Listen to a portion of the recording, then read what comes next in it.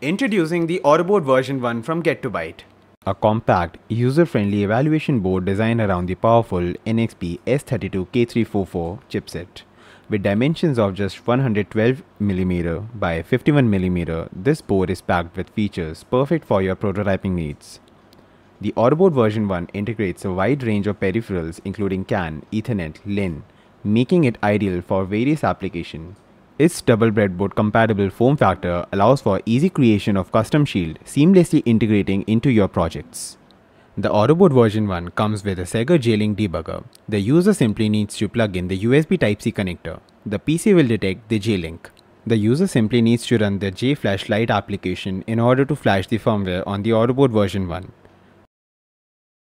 Over here, I'll be flashing an example code for the CAN communication on the CAN 4 channel of the Autoboard version 1. I just need to select the ELF file and hit the program device button. The program will get flashed to the Autoboard version 1. Now the user simply needs to hit the reset button once.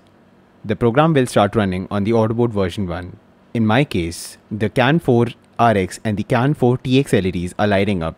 This indicates that the signals are being sent over the CAN4 transceiver.